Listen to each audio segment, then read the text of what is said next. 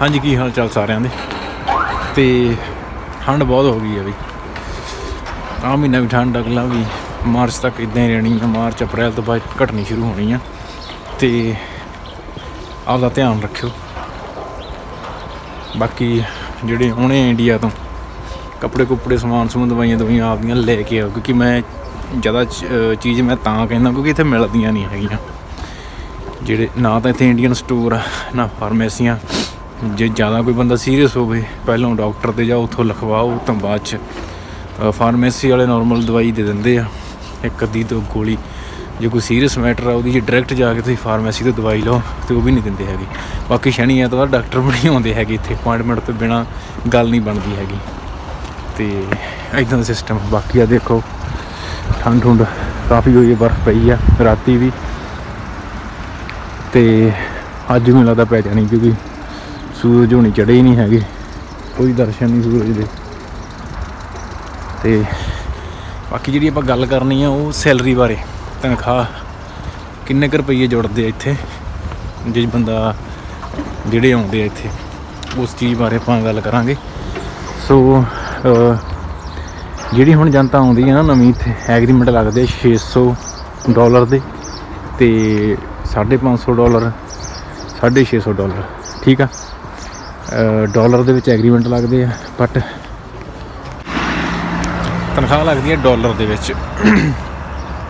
ਕਿਉਂਕਿ ਇੰਡੀਆ ਦਾ ਇਹਨਾਂ ਦੇ ਨਾਲ ਐਗਰੀਮੈਂਟ ਉਹ ਡਾਲਰ ਦੇ ਵਿੱਚ ਹੁੰਦਾ, ਤਾਂ ਕਰਕੇ ਜਿਹੜੀ ਤਨਖਾਹ ਡਾਲਰ ਦੇ ਵਿੱਚ ਲੱਗਦੀ ਆ। ਯੂਰੋ ਇੱਥੇ, ਮਤਲਬ ਯੂਰੋ 'ਚ ਡੀਲ ਹੁੰਦੀ ਆ ਯੂਰੋ ਚੱਲਦੇ ਨਹੀਂ ਹੈਗੇ। ਯੂਰੋ 'ਚ ਕਨਵਰਟ ਹੋ ਕੇ ਤਨਖਾਹ ਮਿਲ ਜਾਂਦੀ ਆ। ਕੁਝ ਜਿਹੜੇ ਇੰਟਰਨੈਸ਼ਨਲ ਬ੍ਰਾਂਡ ਆ ਜਾਂ ਇੰਟਰਨੈਸ਼ਨਲ ਕੁਝ ਕੰਪਨੀਆਂ ਵਾ, ਉੱਥੇ ਤੁਸੀਂ ਜੇ ਮਾਲ ਦੇ ਵਿੱਚ ਸ਼ਾਪਿੰਗ ਮਾਲ ਦੇ ਵਿੱਚ ਜਾਂ ਕਿਤੇ ਵੀ ਜਾਓਗੇ ਤਾਂ ਲਿਖਿਆ ਹੁੰਦਾ ਦੋ ਜਾਂ ਤਿੰਨ ਰੇਟ ਲਿਖੇ ਹੁੰਦੇ ਆ। ਜਿਹੜਾ ਰੋਮੇਨੀਅਨ ਲਿਓ, ਉਹਦੇ ਵਿੱਚ ਯੂਰੋ ਵਿੱਚ ਲਿਖਿਆ ਹੁੰਦਾ ਵਾ। ਉਸ ਤੋਂ ਬਾਅਦ ਚ ਇੱਕ ਦੋ ਹੋਰ। ਹੰਗਰੀ ਦੇ ਰੇਟ ਵੀ ਲਿਖੇ ਹੁੰਦੇ ਬਲਗਾਰੀਆ ਦੇ ਲੇਵਾ ਦੇ ਵਿੱਚ ਪ੍ਰਾਈਸ ਲਿਖੇ ਹੁੰਦੇ ਆ ਇਦਾਂ ਲਿਖੇ ਹੁੰਦੇ ਆ। ਠੀਕ ਆ? ਮੋਸਟਲੀ ਯੂਰੋ ਦੇ ਵਿੱਚ ਤੇ ਲਿਓ ਦੇ ਵਿੱਚ ਇਹਦਾ ਰੇਟ ਲਿਖਿਆ ਹੁੰਦਾ। ਜੇ ਤੁਸੀਂ ਫੋਨ ਲੈਣ ਜਾਓਗੇ, ਕੋਈ ਫੋਨ ਲੈਂਦੇ ਆ, ਹਨਾ? ਫੋਨ ਦੇ ਉੱਤੇ ਦੇਖਿਓ ਲਿਓ ਦੇ ਵਿੱਚ ਵੀ ਲਿਖਿਆ ਹੋਣਾ ਰੇਟ ਤੇ ਯੂਰੋ ਵਿੱਚ ਵੀ। ਡਾਲਰ ਵਿੱਚ ਨਹੀਂ ਲਿਖਿਆ ਹੁੰਦਾ। ਠੀਕ ਆ ਬਹੁਤ ਘੱਟ ਨਾਮ ਮਾਤਰ ਜੇ ਬ੍ਰਾਂਡ ਆ ਜਿਹੜੇ ਡਾਲਰ ਵਿੱਚ ਲਿਖੇ ਹੁੰਦੇ ਆ। ਤੇ ਡਾਲਰ ਦੀ ਡੀਲ ਆਪਣੇ ਨਾਲ ਹੁੰਦੀ ਆ ਮਤਲਬ ਇੰਡੀਆ ਦੇ ਜਿਹੜੀ ਡੀਲ ਕਰਦਾ ਇਹਨਾਂ ਨਾਲ, ਜੇ ਉਹ ਵਰਕਰ ਜਿਹੜੇ ਆਉਂਦੇ ਆ, ਤੇ ਉਹਨਾਂ ਨੂੰ ਡਾਲਰਾਂ ਵਿੱਚ ਤਨਖਾਹ ਜਿਹੜੀ ਆ ਲੱਗੀ ਹੁੰਦੀ ਆ। ਬਟ ਡਾਲਰ ਮਿਲਦੇ ਨਹੀਂ ਹੈਗੇ। ਤਨਖਾਹ ਇਹਨਾਂ ਦੀ ਕਰੰਸੀ 'ਚ ਮਿਲਦੀ ਆ, ਲੀ ਦੇ ਵਿੱਚ। ਯੂਰੋ 'ਚ ਵੀ ਨਹੀਂ ਮਿਲਦੀ ਹੈਗੀ, ਠੀਕ ਆ। ਤੇ ਜਿਹੜੀ ਮੋਸਟਲੀ ਤਨਖਾਹ ਜੇ ਤੁਹਾਡੀ 600 ਲੱਗੀ ਆ, ਜਾਂ ਜਿੰਨੀ ਵੀ ਲੱਗੀ ਆ, ਉਹ ਕਨਵਰਟ ਹੋ ਕੇ ਲੀ ਦੇ ਵਿੱਚ ਫਿਰ ਤੁਹਾਨੂੰ ਤਨਖਾਹ ਮਿਲਣੀ ਆ। ਤੇ ਉਹ ਤੁਹਾਨੂੰ ਕਨਵਰਟ ਹੋ ਕੇ ਜਿਹੜੀ ਹੈ ਤਨਖਾਹ ਫਿਰ ਮਿਲਣੀ ਆ। ਮੰਨ ਲਓ ਜੇ ਜਿਹੜੀ, ਜਿਹੜਾ ਐਗਰੀਮੈਂਟ ਆ, ਉਹ ਐਗਰੀਮੈਂਟ ਹੁਣ ਮੋਸਟਲੀ ਲੱਗਦਾ ਪਿਆ ਵਾ 3000 ਲੇ ਦਾ। ਠੀਕ ਆ? 3000 ਲੇ ਦਾ ਐਗਰੀਮੈਂਟ ਲੱਗਦਾ ਵਾ। ਜੇ 3000 ਲੇ ਦਾ ਤੁਹਾਡੇ ਕੋਲ ਐਗਰੀਮੈਂਟ ਲੱਗਾ ਵਾ ਤੁਹਾਡੇ, ਫਿਰ ਤੁਸੀਂ ਲੀਜ਼ ਵਾਲਾ ਆਈਡੀ ਬਣਾਉਣਾ ਵਾਸਤੇ, ਫਿਰ ਤੁਹਾਡਾ ਮਾਲ ਜਿਹੜਾ ਲੀਜੀ ਵਾਲਾ ਆਈਡੀ ਬਣਾਉਣਾ ਫਿਰ 3000 ਤੋਂ ਘੱਟ ਆ ਨਾ 2200 2300 ਦਾ। ਐਗਰੀਮੈਂਟ ਆ ਤੇ ਉਹਦੇ ਵਾਸਤੇ ਆਈਡੀ ਜਿਹੜਾ ਟੀਆਰਸੀ ਕਾਰਡ ਉਹ ਨਹੀਂ ਬਣਦਾ ਹੈਗਾ ਕਿਉਂਕਿ ਆਫੀਸ਼ੀਅਲੀ ਇਮੀਗ੍ਰੇਸ਼ਨ ਨੇ ਗਵਰਨਮੈਂਟ ਨੇ ਰੂਲ ਕਰ ਦਿੱਤਾ ਕਿ 3000 ਪਲੱਸ ਸੈਲਰੀ ਆ ਤੇ ਆਈਡੀ ਫੇਰ ਹੀ ਬਣੇਗੀ। ਠੀਕ ਹੈ ਜੀ? ਬਾਕੀ ਜਿਹੜੀ ਸੈਲਰੀ ਆ ਨਾ ਸੈਲਰੀ ਜਿਹੜੀ ਉਹ ਤੁਹਾਨੂੰ 30 ਦਿਨਾਂ ਦੀ ਨਹੀਂ ਮਿਲਦੀ ਹੈਗੀ ਤੇ ਬਹੁਤਿਆਂ ਨੂੰ ਨਹੀਂ ਪਤਾ ਹੋਣਾ, ਚਲੋ ਬਹੁਤਿਆਂ ਨੂੰ ਪਤਾ ਵਾ। ਸੈਲਰੀ ਦਾ ਐਗਰੀਮੈਂਟ ਜਿਹੜਾ ਹੁੰਦਾ ਉਹ 26 ਦਿਨ ਦਾ ਜਾਂ 24 ਦਿਨ ਦਾ ਹੁੰਦਾ। 24 ਦਿਨ ਦਾ ਹੁੰਦਾ ਜਾਂ ਜਾਂ 26 ਦਿਨ, ਮਤਲਬ 24 ਦਿਨ ਦੀ ਸੈਲਰੀ ਤੁਹਾਨੂੰ ਮਿਲਦੀ ਆ। 6 ਛੁੱਟੀਆਂ ਹੁੰਦੀਆਂ, ਚਾਰ ਐਤਵਾਰ, ਦੋ ਸ਼ਨੀਵਾਰ, ਦੋ ਸੈਟਰਡੇ ਲਾਉਣੇ ਹੁੰਦੇ ਆ, ਦੋ ਨਹੀਂ ਲਾਉਣੇ ਹੁੰਦੇ, ਠੀਕ ਆ? ਕਈਆਂ ਦਾ ਹੁੰਦਾ ਵਾ 26 ਦਿਨ ਦੀ ਸੈਲਰੀ ਕਈਆਂ ਨੂੰ ਮਿਲਦੀ ਆ, ਠੀਕ ਆ? ਉਹਨਾਂ ਨੂੰ 4 ਦਿਨ ਛੁੱਟੀ ਹੁੰਦੀ ਆ ਮਤਲਬ ਉਹਨਾਂ ਨੇ, ਉਹਨਾਂ ਦੇ ਐਗਰੀਮੈਂਟ 'ਚ ਚਾਰੇ ਸ਼ਨੀਵਾਰ ਲ- ਲ- ਹੁੰਦੇ ਲਿਖੇ ਕਿ ਤੁਸੀਂ ਚਾਰੇ ਸੈਟਰਡੇ ਲਾਉਣੇ ਆ ਤੇ ਚਾਰ ਜਿਹੜੇ ਐਤਵਾਰ ਛੁੱਟੀ ਆ, ਠੀਕ ਆ? ਤੇ ਬਹੁਤਿਆਂ ਨੂੰ ਜਿਹੜੀ ਆ ਉਹ 22 ਦਿਨ ਦੀ ਮਿਲਦੀ ਆ ਕਿ 8 ਦਿਨ ਛੁੱਟੀ ਹੁੰਦੀ ਆ, ਠੀਕ ਆ? ਉਹਨਾਂ ਚੋਂ ਜੇ ਚਾਰ ਜਿਹੜੇ ਸੈਟਰਡੇ ਲਾਉਂਦੇ ਆ, ਜੇ ਕੰਪਨੀ ਲਵਾਉਂਦੀ ਆ, ਉਹਨਾਂ ਨੂੰ ਐਕਸਟਰਾ ਮਿਲਦੇ ਆ। ਤੇ ਜੇ ਤੁਸੀਂ ਛੁੱਟੀਆਂ ਕਰਦੇ ਆ ਵਿੱਚ, ਮੰਨ ਲਓ ਤੁਸੀਂ ਛੁੱਟੀ ਕਰ ਲਈ ਕੋਈ, ਤੇ ਛੁੱਟੀ ਕਰਨ ਤੋਂ ਬਾਅਦ ਜੇ ਤੁਸੀਂ ਕੰਮ ਤੇ ਜਾਂਦੇ ਆ ਮੋਸਟਲੀ ਜਿਹੜੇ ਆ, ਇਹ ਘੰਟਿਆਂ 'ਚ ਹੁੰਦੀ ਆ ਸੈਲਰੀ ਘੰਟੇ ਪੂਰੇ ਕਰਨੇ ਹੁੰਦੇ ਇਹਨਾਂ ਨੇ ਆਪਣੇ। ਜੇ ਤੁਹਾਡੇ ਐਗਰੀਮੈਂਟ ਦੇ ਵਿੱਚ ਸ਼- 24 ਦਿਨ ਕੰਮ ਆ, ਤੇ ਉਹਦੇ ਹਿਸਾਬ ਦੇ ਨਾਲ ਤੁਸੀਂ 200 ਦੇ ਕੁਝ ਘੰਟੇ ਪੂਰੇ ਕਰਨੇ ਆ। ਜੇ ਤੁਸੀਂ ਛੁੱਟੀ ਕਰ ਲੈਂਦੇ ਆ ਉਨੇ ਤੁਹਾਡੇ ਮਾਈਨਸ ਘਟਾ ਘਟਾ ਦਿੱਤੇ ਜਾਂਦੇ ਆ। ਤੇ ਜੇ ਤੁਸੀਂ ਕੋਈ ਕਿਸੇ ਦਿਨ ਓਵਰ ਟਾਈਮ ਲਾਇਆ ਹੁੰਦਾ 4-5 ਘੰਟੇ।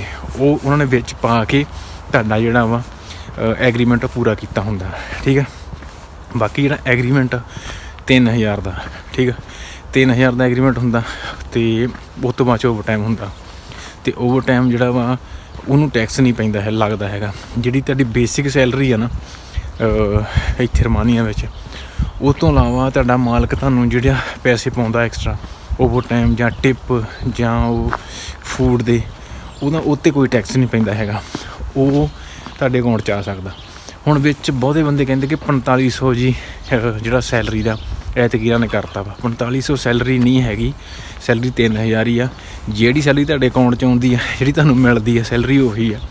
ਸਾਨੂੰ ਟੈਕਸ ਦਾ ਨਹੀਂ ਪਤਾ ਹੈਗਾ। ਹੁਣ ਜਿਹੜੇ ਜਿਹੜੇ ਬੰਦੇ ਕਹਿੰਦੇ ਕਿ 4500 ਸੈਲਰੀ ਆ, ਉਹ ਟੈਕਸ ਡਿਪਾਰਟਮੈਂਟ 'ਚ ਜਾ ਕੇ ਚੈੱਕ ਕਰਕੇ ਆਉਣ, ਠੀਕ ਆ? ਉੱਥੇ ਚੈੱਕ ਕਰਕੇ ਆਉਣ ਕਿ ਉਹਨਾਂ ਦਾ ਟੈਕਸ ਕਿੰਨਾ ਘੱਟ ਹੁੰਦਾ? ਉਹ ਚੈੱਕ ਕਰਨ ਕਿ ਉਹਨਾਂ ਦਾ ਟੈਕਸ ਜਿਹੜਾ ਵਾ 1500 ਘੱਟ ਹੋ ਰਿਹਾ। ਜਾ ਕੇ ਟੈਕਸ ਡਿਪਾਰਟਮੈਂਟ 'ਚ ਜਾ ਕੇ ਚੈੱਕ ਕਰੋ ਕਿ ਤੁਹਾਡਾ 300 ਹਰ ਮਹੀਨੇ 1500 ਜਿਹੜਾ, ਤੁਹਾਡੀ ਕੰਪਨੀ ਟੈਕਸ ਕੱਟ ਰਹੀ ਹੈ। ਤੁਸੀਂ ਉੱਥੇ ਚੈੱਕ ਕਰ ਸਕਦੇ ਹੋ। ਤੁਹਾਨੂੰ ਹੱਕ ਵਾ, ਤੁਸੀਂ ਜਾ ਕੇ ਆਪਣਾ ਟੀਆਰਸੀ ਕਾਰਡ ਲੈ ਕੇ ਜਾ ਕੇ ਟੈਕਸ ਦੀ ਸਾਰੀ ਡਿਟੇਲ ਕਢਾ ਕੇ ਤੁਸੀਂ ਦੇਖ ਸਕਦੇ ਹੋ। ਮੈਂ ਦੱਸਿਆ ਵੀ ਸੀਗਾ ਕਿੱਦਾਂ ਕਿੱਦਾਂ ਡਿਟੇਲ ਤੁਸੀਂ ਕਢਾ ਸਕਦੇ ਹੋ। ਇਦਾਂ ਦਾ ਕੁਝ ਨਹੀਂ ਹੈ। ਜੇ ਮੰਨ ਲਓ 4500 ਸੈਲਰੀ ਹੈ, ਤੇ ਉਹਦਾ ਬਣ ਜਾਂਦਾ ਵਾ 990 ਡਾਲਰ ਜਿਹਦੇ ਵਿੱਚ ਆਪਣੀ ਸੈਲਰੀ ਲੱਗਦੀ ਆ, ਤੇ 900 ਯੂਰੋ। 900 ਯੂਰੋ ਸੈਲਰੀ ਆ, ਤੇ ਅਸੀਂ ਹਿਸਾਬ ਲਾ ਲਓ ਵੀ ਇੱਥੇ ਅਕੋਮੋਡੇਸ਼ਨ ਕੰਪਨੀ ਦਿੰਦੀ ਆ ਖਾਣ ਪੀਣ ਕੰਪਨੀ ਦਿੰਦੀ ਆ, ਤਾਂ ਅਸੀਂ ਕਿੱਥੇ ਪਹੁੰਚਦੇ ਆ? 12 1300 ਤੇ, ਠੀਕ ਆ? ਸੈਲਰੀ ਜਿਹੜੀ ਆ, ਉਹ ਤੁਹਾਡੇ ਜਿਹੜੇ ਹੱਥ ਵਿੱਚ ਜਿੰਨੀ ਆਉਣੀ ਆ 3000 3200 3500 ਉਹੀ ਆ। ਬਾਕੀ ਜਿਹੜੀ ਟੈਕਸ ਦੀ ਤੁਸੀਂ ਗੱਲ ਕਰਦੇ ਆ, ਕਿ ਹਰ ਕੰਪਨੀ ਜਿਹੜਾ ਵਾ 1500 ਟੈਕਸ ਪੇ ਕਰੂਗੀ ਇਦਾਂ ਨਹੀਂ ਹੁੰਦਾ। ਟੈਕਸ ਦੇ ਬਹੁਤ ਸਾਰੇ ਫੰਡੇ ਹੁੰਦੇ ਆ। ਬਹੁਤ ਸਾਰੀ ਸੈਟਲਮੈਂਟ ਹੁੰਦੀ ਆ ਇੱਥੇ। ਉਹਦੇ ਨਾਲ ਟੈਕਸ ਜਿਹੜਾ ਵਾ ਉੱਪਰ ਥੱਲੇ ਹੋ ਜਾਂਦਾ ਵਾ। ਹੁਣ ਕਈ ਬੰਦਿਆਂ ਦੇ ਜਿਹੜੇ ਆ ਟੀਆਰਸੀ ਕਾਰਡ ਰੀਨਿਊ ਹੋਏ, ਉਹਨਾਂ ਦੇ ਅਕਾਊਂਟ 'ਚ 2200 ਰੁਪਇਆ ਪੈਂਦਾ ਵਾ। ਠੀਕ ਆ? 2200 ਦੇ ਉੱਤੇ ਵੀ ਜਿਹੜਾ ਵਾ ਹੋ ਜਾਂਦਾ ਵਾ। ਮੋਸਟਲੀ ਜਿਹੜਾ ਐਗਰੀਮੈਂਟ ਉਹ 3000 ਦਾ। ਠੀਕ ਆ? ਆਪਣੇ ਐਗਰੀਮੈਂਟ ਤੇ ਚੈੱਕ ਕਰ ਲਿਓ 3000 ਦਾ। ਉਹਦੇ 'ਚ ਇਹ ਨਹੀਂ ਲਿਖਿਆ ਹੁੰਦਾ ਕਿ 4500 ਰੁਪਇਆ ਦਾ ਐਗਰੀਮੈਂਟ ਆ। ਵੀ ਉਹਦੇ ਵਿੱਚ ਕਿ 3000 ਦੇ ਵਿੱਚ 3000 ਦੀ ਤਨਖਾਹ ਤੇ 1500 ਟੈਕਸ ਕਦੇ ਨਹੀਂ ਲਿਖਿਆ ਹੋਊਗਾ ਇਹ। ਤੁਸੀਂ ਆਪ ਚੈੱਕ ਕਰ ਲਿਓ। ਅੱਛਾ ਜੀ 4500 ਕਿਉਂਕਿ ਇਹ ਚੀਜ਼ ਜਿਹੜੀ ਮੈਂ ਤੁੱਕੇ ਨਾਲ ਹੀ ਬੋਲ ਰਿਹਾ। ਇਹ ਚੀਜ਼ ਦਾ ਮੈਨੂੰ ਥੋੜਾ ਜਿਹਾ ਹੈਗਾ ਕਨਫਰਮ ਜਾਂ ਤਜਰਬਾ ਕਹਿ ਲਓ ਹੈਗਾ, ਮੈਂ ਉਸ ਦੇ ਹਿਸਾਬ ਦੇ ਨਾਲ ਬੋਲ ਰਿਹਾ ਹਾਂ ਹੁਣ ਤੁਸੀਂ ਆਪ ਸੋਚੋ, ਜੇ 4500 ਹੋਵੇ, ਠੀਕ ਆ 3000 ਵੀ ਮੰਨ ਲਓ, ਹੁਣ ਇਹਦੇ ਵਿੱਚ ਸੈਟਲਮੈਂਟ ਹੋ ਜਾਂਦੀ ਆ। ਟੈਕਸ ਦੀ ਜਾਂ ਸੈਲਰੀ ਦੀ ਜਿਹਨਾਂ ਜਿੱਦਾਂ ਟੀਆਰਸੀ ਕਰਨਾ, ਉਹਦੇ ਵਿੱਚ ਸਾਰਾ ਕੁਝ ਹੋ ਜਾਂਦਾ ਵਾ, ਠੀਕ ਆ। ਉਹ ਕਿੱਦਾਂ ਹੋ ਜਾਂਦਾ ਮੈਂ ਤੁਹਾਨੂੰ ਦੱਸ ਦਿੰਦਾ। ਇੰਡੀਆ ਤੋਂ ਤੁਸੀਂ ਦੇਖਿਓ, ਕਈਆਂ ਬੰਦਿਆਂ ਦਾ ਐਗਰੀਮੈਂਟ ਹੁੰਦਾ 600 ਯੂਰੋ ਦਾ। ਠੀਕ ਆ? 600 ਸੌਰੀ ਡਾਲਰ ਦਾ। 600 ਡਾਲਰ ਦਾ ਜਿਹੜਾ ਐਗਰੀਮੈਂਟ ਹੁੰਦਾ ਵਾ, ਉਹਦਾ 3000 ਲੈ ਨਹੀਂ ਬਣਦਾ ਹੈਗਾ। ਠੀਕ ਆ? 650 660 ਡਾਲਰ ਦਾ ਬਣਦਾ ਵਾ 3000 ਇਹ ਹੋ ਗਿਆ। ਫਿਰ ਜਿਹੜੀ ਕੁੜੀਆਂ ਦੀ ਸੈਲਰੀ ਲੱਗਦੀ, ਉਹ 550 ਲੱਗਦੀ ਆ। ਡਾਲਰ ਕਿਸੇ ਦੀ 500 ਲੱਗਦੀ ਆ। ਫਿਰ ਕਈ ਜਿਹੜੇ ਸ- ਜਿਹੜੇ ਅਨਸਕਿਲ ਵਰਕਰ ਆ, ਜਿਹਨੂੰ ਲੇਬਰ ਕਹਿੰਦੇ ਆ, ਉਹਨਾਂ ਦੀ 550 ਲੱਗਦੀ ਪਈ ਆ। ਉਹ ਕਿੱਦਾਂ ਪੋਸੀਬਲ ਆ ਕਿ 550 ਵਾਲੇ ਨੂੰ ਇੱਥੇ ਆ ਉਹਦਾ ਟੀਆਰਸੀ ਕਾਰਡ ਬਣਦਾ ਵਾ ਜਦ ਕਿ ਇੱਥੇ ਇਹਨਾਂ ਨੇ ਰੂਲ ਕਰ ਦਿੱਤਾ ਕਿ ਐਜ਼ ਏ ਜੇ ਤੁਸੀਂ ਇੱਕ ਵਰਕਰ ਆ ਰਹੇ ਆ, ਠੀਕ ਆ, ਤੇ ਤੁਹਾਡੀ ਜੇ ਸੈਲਰੀ ਮਤਲਬ 3000 ਲੇ ਆ, ਤੇ ਫੇਰ ਹੀ ਤੁਹਾਡਾ ਟੀਆਰਸੀ ਕਾਰਡ ਬਣੂਗਾ, ਤੁਹਾਡਾ ਸਾਰਾ ਕੁਝ ਹੋਊਗਾ ਇਦਾਂ ਦਾ। ਸੋ ਇਹ ਸਾਰਾ ਕੁਝ ਹੋ ਜਾਂਦਾ ਵਾ, ਇਹੋ ਜੀਆਂ ਅਫਵਾਹਾਂ ਤੇ ਨਾ ਯਕੀਨ ਕਰੋ। ਕਿ ਤੁਹਾਡੀ 4500 ਸੈਲਰੀ ਆ ਜਾਂ ਕਿੱਦਾਂ ਵਾ? ਜਿਹੜੀ ਤੁਹਾਡੀ ਸੈਲਰੀ ਆ, ਉਹਦਾ ਜਿਹੜਾ ਵਾ 35 ਤੋਂ 40 45% ਜਿਹੜਾ ਟੈਕਸ ਆ, ਉਹ ਕੱਟ ਹੋ ਰਿਹਾ ਵਾ। ਉਹ ਤੁਸੀਂ ਆਪ ਦੇਖ ਸਕਦੇ ਆ। ਟੈਕਸ ਚੈੱਕ ਕਰਨ ਵਾਸਤੇ ਤੁਹਾਨੂੰ ਇਹ ਨਹੀਂ ਕਿ ਬੁਕਾਰੈਸਟ ਜਾਂ ਕਿਤੇ ਹੋਰ ਜਾਣਾ ਪਊ। ਟੈਕਸ ਜਿਹੜਾ ਹਰ ਸਿਟੀ ਆ, ਹਰ ਡਿਸਟ੍ਰਿਕਟ ਆ, ਉਹਦੇ ਵਿੱਚ ਜਿਹੜਾ ਜਿੱਥੇ ਪੈਨਸ਼ਨ ਲੱਗਦੀ ਹੈ ਬੰਦਿਆਂ ਦੀ, ਹਨਾ? ਕਿਉਂਕਿ ਮੈਂ ਇੱਕ ਵੀਡੀਓ ਬਣਾ ਕੇ ਦੱਸਿਆ ਸੀ ਉੱਥੇ ਜਾ ਕੇ ਤੁਸੀਂ ਆਪਦੇ ਟੀਆਰਸੀ ਕਾਰਡ ਦਿਓ।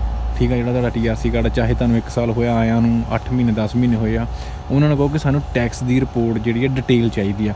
ਵਿਦਿਨ 5 ਮਿੰਟ ਦੇ ਵਿੱਚ ਉਹ ਤੁਹਾਨੂੰ ਸਾਰੀ ਟੈਕਸ ਦੀ ਜਿਹੜੀ ਡਿਟੇਲ ਦੇ ਦੇਣਗੇ। ਮੈਂ ਤੁਹਾਨੂੰ ਪਰਸਨਲੀ ਇੱਕ ਵੀਡੀਓ 'ਚ ਵੀ ਦੱਸਿਆ ਸੀਗਾ ਕਿ ਇਦਾਂ ਇਦਾਂ ਦੀ ਟੈਕਸ ਤੁਸੀਂ ਆਪਣਾ ਚੈੱਕ ਕਰ ਸਕਦੇ ਇੱਥੇ ਕਢਵਾ ਸਕਦੇ ਆ, ਇੱਥੋਂ ਪਤਾ ਕਰ ਸਕਦੇ ਆ। ਤੁਸੀਂ ਉੱਥੇ ਜਾ ਕੇ ਆਪਣਾ ਟੈਕਸ ਚੈੱਕ ਕਰੋ। ਉਹਦੇ 'ਚ ਫਿਰ ਤੁਹਾਨੂੰ ਕਨਫਰਮ ਲੱਗੂਗਾ ਜੇ ਤੁਹਾਡੀ ਬੇਸਿਕ ਸੈਲਰੀ 3000 ਆ, ਤੇ ਤੁਹਾਡਾ ਜਿਹੜਾ ਟੈਕਸ ਆ, ਉਹ 1500 ਰੁਪ- ਲਿਓ, ਹਰ ਮਹੀਨੇ ਕੱਟ ਹੋ ਰਿਹਾ ਵਾ, ਤੁਸੀਂ ਚੈੱਕ ਕਰ ਸਕਦੇ ਆ। ਜੇ ਕੱਟ ਹੋ ਰਿਹਾ ਤਾਂ ਫਿਰ ਮੈਨੂੰ ਤਾਂ ਦੱਸੋ। ਟੈਕਸ ਦਾ ਬਹੁਤ ਸਾਰਾ, ਬਹੁਤ ਸਾਰੇ ਇੱਥੇ ਹੇਰ ਫੇਰ ਆ ਟੈਕਸ ਦੇ ਬਹੁਤ ਤਰ੍ਹਾਂ ਹੋ ਜਾਂਦਾ ਵਾ। ਠੀਕ ਆ ਜੌਬ ਦੇ ਨਾਲ ਰਿਲੇਟਡ ਕੰਸਟਰਕਸ਼ਨ ਦੇ ਜਿਹੜੀ ਜੌਬ ਆ, ਉਹਦੇ ਨਾਲ ਰਿਲੇਟਡ ਹੋਰ ਟੈਕਸ ਹੁੰਦਾ ਵਾ। ਫਿਰ ਜੇ ਤੁਸੀਂ ਵੇਅਰ ਹਾਊਸ 'ਚ ਕੰਮ ਕਰਦੇ ਹੋਰ ਹੁੰਦਾ ਵਾ ਰੈਸਟੋਰੈਂਟ ਦੇ ਵਿੱਚ ਕੰਮ ਕਰਦੇ ਆ ਟੈਕਸ ਹੋਰ ਹੁੰਦਾ ਵਾ ਮਾਰਕੀਟ 'ਚ ਕੰਮ ਕਰਦੇ ਆ ਟੈਕਸ ਹੋਰ ਹੁੰਦਾ ਵਾ। ਇਦਾਂ ਦੇ ਬਹੁਤ ਸਾਰੇ ਜਿਹੜੇ ਇੱਥੇ ਟੈਕਸਾਂ ਦੇ ਸਿਸਟਮ ਆ। ਸੋ ਜਿਹੜਾ ਐਗਰੀਮੈਂਟ ਇੰਡੀਆ ਤੋਂ ਲੱਗਦਾ ਵਾ 650 ਦਾ ਜਿਹੜਾ ਲੱਗਦਾ ਪਿਆ 600 ਦਾ ਲੱਗਦਾ ਪਿਆ, ਜਿਹੜਾ ਮੋਸਟਲੀ ਤੇ ਬਾਕੀ ਤੁਹਾਨੂੰ ਹੋਰ ਦੱਸ ਦਿੰਦਾ ਮੈਂ 4500 ਸੈਲਰੀ 5000 ਸੈਲਰੀ, ਕੁਝ ਜਿਹੜੇ ਡਿਪਾਰਟਮੈਂਟ ਕੁਝ ਜਿਹੜੇ ਮਤਲਬ ਬੰਦੇ ਹੈਗੇ ਆ ਵਰਕਰ ਹੈਗੇ ਆ, ਉਹਨਾਂ ਦੀ ਲੱਗ ਸਕਦੀ ਹੈ ਜਿਵੇਂ ਇੰਜੀਨੀਅਰ ਹੋ ਗਏ ਆਈਟੀ ਡਿਪਾਰਟਮੈਂਟ ਵਾਲੇ ਹੋ ਗਏ। ਇਦਾਂ ਦੇ ਜਿਹੜੇ ਹੋ ਗਏ, ਉਹਨਾਂ ਦਾ ਆਪਾਂ ਮੰਨ ਸਕਦੇ ਬਟ ਐਜ਼ ਏ ਲੇਬਰ ਜਿਹੜੀ ਆ, ਜਿਹੜੀ ਐਜ਼ ਏ ਲੇਬਰ ਆਉਂਦੀ ਹੈ ਉਹਦੀ ਤੁਸੀਂ 4500 ਸੈਲਰੀ ਲਾਈ ਜਾਂਦੇ ਆ ਜਾਂ ਇਦਾਂ ਕਰੀ ਜਾਂਦੇ ਇਦਾਂ ਦਾ ਕੁਝ ਨਹੀਂ ਹੈਗਾ, ਠੀਕ ਆ? ਕਿਉਂਕਿ ਇੱਥੇ ਬਹੁਤ ਕੁਝ ਚੱਲਦਾ ਵਾ, ਹਰ ਕੰਟਰੀ 'ਚ ਚੱਲਦਾ ਹੁੰਦਾ ਵਾ। ਸੋ ਉਹਦਾ 1000 ਜਿਹੜਾ ਵਾ ਯੂਰੋ ਬਣ ਜਾਂਦਾ ਵਾ। 1000 ਯੂਰੋ ਸੈਲਰੀ ਜਿਹੜੀ ਆ ਉਹ ਬਣ ਜਾਂਦੀ ਆ। ਤੇ ਇੰਨੀ ਸੈਲਰੀ ਜਿਹੜੀ ਆ ਇੱਥੇ ਨਹੀਂ ਮਿਲਦੀ ਹੈਗੀ। ਇਹੋ ਜੀਆਂ ਅਫਵਾਹਾਂ ਤੋਂ ਪਲੀਜ਼ ਬਚ ਕੇ ਰਹੋ। ਬਾਕੀ ਨਵੀਂ ਕੋਈ ਸੈਲਰੀ ਦੀ ਅਪਡੇਟ ਹੁੰਦੀ ਆ, ਉਹ ਤੁਹਾਡੇ ਨਾਲ ਜ਼ਰੂਰ ਸ਼ੇਅਰ ਕਰਦੇ ਹਾਂ ਲਾਸਟ ਟਾਈਮ 10% ਸੈਲਰੀ ਵਧੀ ਸੀਗੀ, ਠੀਕ ਆ, ਜਿਨ੍ਹਾਂ ਦੀ 3000 ਸੈਲਰੀ ਉਹਦਾ 10% ਜਿਹੜੀ ਵੱਧ ਗਈ ਸੀਗੀ, ਉਹ ਉਹ ਤੁਸੀਂ ਕਹਿ ਲਓ 100 ਜਾਂ 200 ਲਈ ਜਿਹੜਾ ਵੱਧ ਗਿਆ ਸੀ, ਉਹ ਤੋਂ ਪਹਿਲਾਂ ਇਹਨਾਂ ਨੇ ਰੂਲ ਕਰ ਦਿੱਤਾ ਸੀ ਕਿ ਜੇ ਬੰਦੇ ਦੀ 3000 ਸੈਲਰੀ ਹੈ ਤਾਂ ਉਹੀ ਜਿਹੜਾ ਵਾ ਟੀਆਰਸੀ ਕਾਰਡ ਵਗੈਰਾ ਬਣਾ ਸਕਦਾ ਵਾ। ਕੁਝ ਬੰਦਿਆਂ ਦਾ ਮੈਨੂੰ ਮੈਸੇਜ ਆਇਆ, ਕਹਿੰਦੇ ਬਾਈ ਸਾਡੇ ਐਗਰੀਮੈਂਟ ਹੋਇਆ 3-3000 ਸੈਲਰੀ ਦੇ ਬਟ ਸਾਨੂੰ ਦੇ ਰਿਹਾ 2600 2500 2400 ਉੱਥੇ ਬੰਦਾ ਕੀ ਕਰੂ? ਨਾ ਉਹ ਬੰਦੇ ਬੋਲ ਸਕਦੇ। ਬੋਲਣਗੇ ਤਾਂ ਆਪਣੀ ਨੌਕਰੀ ਤੋਂ ਜਾਣਗੇ। ਸੋ ਇਦਾਂ ਦਾ ਸਿਸਟਮ ਇੱਥੇ ਹੋ ਜਾਂਦਾ। ਇੱਥੇ ਬਹੁਤ ਕੁਝ ਹੋ ਜਾਂਦਾ ਵਾ। ਹਰ ਕੰਟਰੀ 'ਚ ਇਦਾਂ ਦਾ ਚੱਲ ਜਾਂਦਾ ਵਾ। ਸੋ ਇਹੋ ਜਿਹੀਆਂ ਚੀਜ਼ਾਂ ਵਾ। ਬਾਕੀ ਜਿਹੜੀ ਕਰੈਕਟ ਇਨਫੋਰਮੇਸ਼ਨ ਆ ਜਾਂ ਜਿਹੜੀ ਸਹੀ ਜਾਣਕਾਰੀ ਉਹ ਮੈਂ ਤੁਹਾਡੇ ਨਾਲ ਸ਼ੇਅਰ ਕਰ ਦਿੰਦਾ ਹੁੰਦਾ ਵਾ।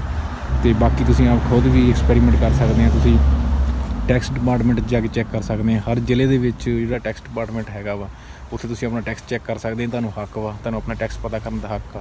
ਚਾਹੇ ਤੁਹਾਨੂੰ 5 ਸਾਲ ਹੋ ਗਿਆ ਚਾਹੇ ਤੁਹਾਨੂੰ 15 ਹੋ ਗਿਆ ਚਾਹੇ ਤੁਹਾਨੂੰ 1 ਸਾਲ ਹੋ ਗਿਆ ਤੁਸੀਂ ਆਪਣਾ ਟੈਕਸ ਜਿਹੜਾ ਕਿ ਉੱਥੇ ਪਤਾ ਕਰ ਸਕਦੇ ਆ ਸੋ ਇਹ ਜਿਹੜੀ ਚੀਜ਼ ਸੀਗੀ ਤੁਹਾਡੇ ਨਾਲ ਸ਼ੇਅਰ ਕਰਨੀ ਕਿ 2024 ਦੇ ਵਿੱਚ ਕੋਈ 4500 ਸੈਲਰੀ ਨਹੀਂ ਹੋਊਗੀ, ਇਦਾਂ ਦਾ ਕੁਝ ਨਹੀਂ ਹੈਗਾ। ਕੋਈ ਨਵਾਂ ਇਦਾਂ ਦੀ ਹੋਈ ਜਾਣਕਾਰੀ ਤਾਂ ਪਤਾ ਨਹੀਂ ਜ਼ਰੂਰ ਸ਼ੇਅਰ ਕਰਾਂਗੇ। ਬਾਕੀ ਸਤਿ ਸ੍ਰੀ ਅਕਾਲ ਸਾਰਿਆਂ ਨੂੰ, ਵੀਡੀਓ ਦੇਖਣ ਵਾਸਤੇ ਤੁਹਾਡਾ ਬਹੁਤ ਬਹੁਤ ਧੰਨਵਾਦ।